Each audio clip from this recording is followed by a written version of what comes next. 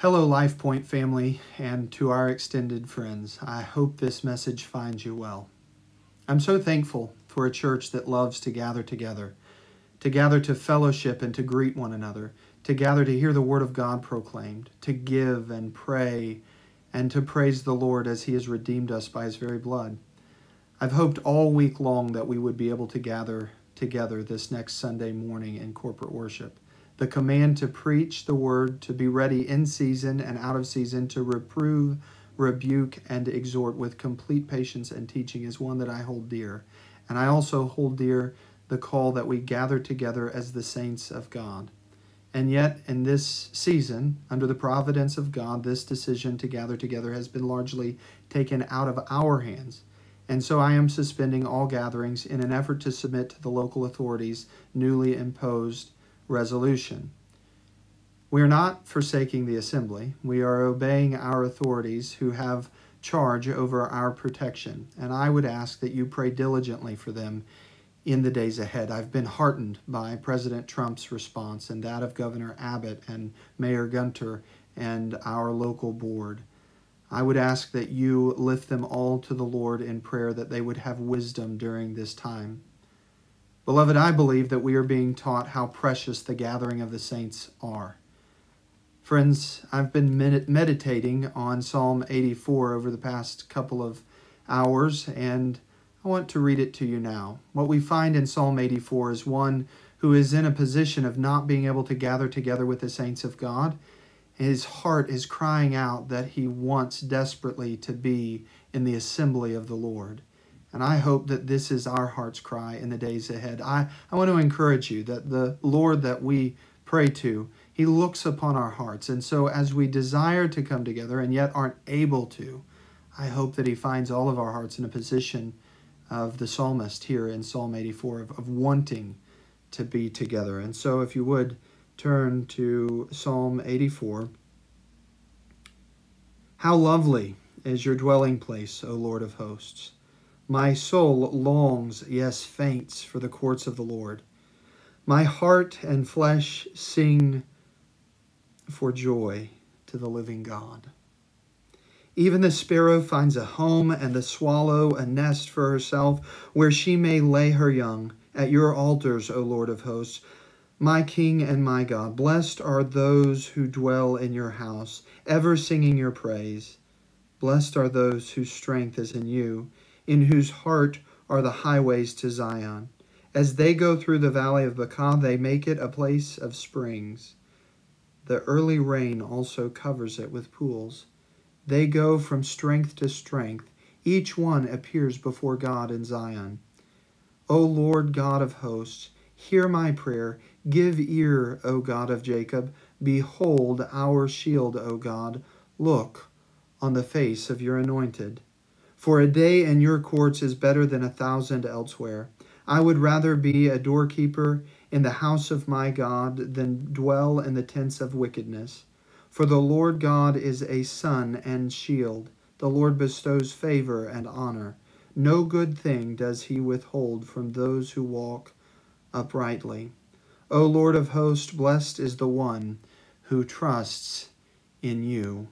We're trusting in him in these difficult times. And beloved, I would encourage you that we can do largely the things that I've mentioned, even though we aren't gathering. We can still hear the word of God proclaimed. We can still give. We can still pray. We can still praise his name as we spend time in our homes. W.S. Plumer writes of Psalm 84 Believers always have more in which to rejoice and for which to give thanks than they have calling for mourning or for sadness. There's a propensity in our hearts to grumble and to complain. And I would encourage you that the Lord has given us abundantly more reason to be grateful for all that He has done in ransoming our souls from sin. Uh, he's given us an abundant reason to be grateful for a church family that will look after us in the weeks ahead. He's given us reason to rejoice in the common grace of a government that is thoughtful in what it's doing. Friends, there's a propensity, I believe, in the human heart to overreact to difficult days. There's a propensity, even in the church, I believe, in some measure or another, to want to continue on when the providence of God has so clearly said that we can't gather together, that we can't have what we normally have on Sunday mornings. Uh, there's a propensity to want to put all of our programs online. But, friends, you know my heart. You know that I've never believed that we have ever depended on a program. We're not a business dispensing with a product. We are a gathering of people who once were much of the darkness that we see in the world around us today. And yet we have been made by grace light in the Lord Jesus Christ. I can't reproduce the gatherings that we all long for any more than one would be able to reproduce the joy of a wedding over a online format. So I will not attempt to reproduce Sunday mornings in any fashion. W.S. Plumer also wrote, It is much more important for us to learn wisdom by our trials than for us to escape them. I recently read a sermon by Samuel Grimke. He was a pastor in Washington, D.C. during the Spanish flu of 1918. And he begged a question at the beginning of a sermon that he preached after that flu had passed. And I want to read it to you now. He writes in the opening of his sermon Now that the worst is over, I've been thinking, as doubtless you have been, of these calamitous weeks through which we have been passing, thinking of the large numbers of those who have been sick. And he continues, What is the meaning of it all? What ought it mean for us? Is it to come and to go, and we be no wiser or better for it? Surely God had a purpose in it, and it is our duty to find it out as far as we may what that purpose is, and to try and profit by it. Friends, we have the benefit of that question before we even really get through the heart of this storm. Let us not waste that question. Let us consider why the Lord is allowing that we're not going to gather together this Sunday. Friends, I would encourage you that even during this time, we can still look long into His Word individually in our homes. Fathers and husbands, I would encourage you to lead your families in devotions daily during this time period. His Word is still active in our lives. Our teacher is still instructing our hearts by His Spirit through the means of the Word. I would encourage you to think about the heroes of the faith, those like John, who was not able to gather with the saints as he was on the Isle of Patmos, and yet in God's providence, he was still able to pen revelation. Or think about Paul as he was imprisoned in a Roman jail cell and how he wrote many of the pastoral letters that have given vitality to the local church over these past thousands of years.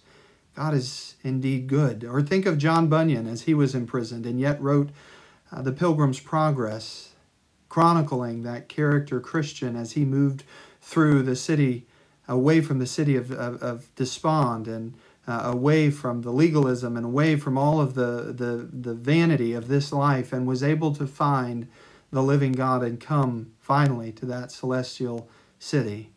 Friends, the saints of God have often not been able to gather together because of differing trials. Trials are the normal ebb and flow of the Christian walk, and yet we've been insulated from them largely. To borrow the words of Charles Spurgeon, let us not find this to be a time where we grumble and complain or where we are found with fear, but let us greet this COVID 19 challenge as a wave that will throw us against the rock of ages, as something that will allow us to press deeper into what the living God is doing in our community in our church, and in our own hearts and lives. Beloved, I believe that we have the unique ability, being bought by the blood of Christ and renewed by the Spirit of God, to rejoice through the storms of life, to find joy in the midst of darkness. Let us rejoice in the days ahead. So, what can you expect from LifePoint in the days ahead? Well, one, I will be in the office, Lord willing, over the next several days. And if you have any need, you're certainly willing or welcome to stop by. You can also contact me via email or Facebook. I would be delighted to have a call from you. I want you to know that I am your servant in the days ahead. I would love to pray with you. And I would love to help you in any way that I can. I would encourage you to serve one another as Christ's body, to be salt and light to your neighbor. I'd also like to draw your attention to a phrase in Psalm 84. Blessed are those whose strength is in you, in whose heart are the highways of Zion. As they go through the valley of Baca, they make it a place of spring. The early rain also covers it with pools. There's a picture here that those who delight in the Lord can take a difficult situation and make it a place of abundance, of joy, of refreshment. What, what the psalmist is actually talking about here, the valley of Baca, is probably lost on our modern imagination, but the immediate writers would have understood what he meant. The valley of Baca was a place that would have been, uh, a, a traveler would have passed through on his way to Jerusalem. And on his passing through this valley, he would have found a grove of mulberry trees, fresh with fruit. And this fruit would have been a means of grace, of joy, and of refreshment, a, a way of, of being nourished along the journey. And this has been juxtaposed in my mind with Isaiah's writing in Isaiah 61, verses 1 through 3. As the prophet writes, the Spirit of the Lord God is upon me, because the Lord has anointed me to bring good news to the poor. He has sent me to bind up the brokenhearted, to proclaim liberty to the captives, and the opening of the prison to those who are bound, to proclaim the year of the Lord's favor and the day of vengeance of our God, to conform all who, to comfort rather, all who mourn to grant to those who mourn in Zion, to give them a beautiful headdress instead of ashes, the oil of gladness instead of mourning, the garment of praise instead of a faint spirit, that they may be called oaks of righteousness, the planting of the Lord, that he may be glorified. We might not have a grove of mulberry trees as we pass through these next weeks, but beloved, at Life Point, what we do have is the grace of God in the planting of oaks of righteousness in this congregation by the will of God. Men and women who have grown into the Word of God over these many years and who can share with us the, their wisdom in the days ahead. So we will be putting devotions in the days ahead online. Many I will lead, but I will also enlist the help of others. I hope these might be a way of refreshment and of finding joy in the Word of our living God. Friends, I also want to take just a moment to encourage you not to neglect your giving. It's vital that as we pass through these next weeks that you continue to give to sustain the work of Life Point Baptist Church's witness in our community. I want to leave you with the words of the psalmist in Psalm 46, verse 10. Amongst all of the, amidst all of the difficulty and um, the panic and um, the change that we will come against in the days ahead, I want you to hear the voice of the Lord in these words Be still and know that I am God. Beloved, I want you to know that I'll be entrusting you to the Lord who rules and reigns over this present difficulty. And my deep desire is that you would spend time praying that even as we go through this difficulty, difficulty that his name would be magnified, that he would be glorified in the way that we live, that he would be manifest in our heart and that we would feast upon his word even as we are not allowed to gather together that we would commit to heart psalm 84 and that we would be stirred with greater and greater longing over the days ahead to gather together again. And until we meet again i want you to know that my heart continues to echo the words of the psalmist in psalm 84 how lovely is your dwelling place o lord of hosts my soul longs, yes, faints for the courts of the Lord. My heart and flesh sing for joy to the living God. Life Point family, I love each one of you, and I look forward to hearing from you in the weeks ahead. If there is anything that we can do to serve you, please let